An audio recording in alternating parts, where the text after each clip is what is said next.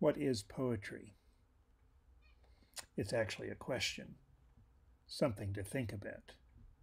The collective noun distinguished from the plural. Not mere lines on a page, not mere words to be read. If it were perfectly predictable, it wouldn't be worth your trouble. The future is uncertain, so each must make its own way.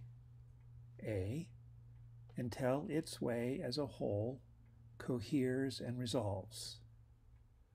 B, until its embers gather to warm your cold, cold hands.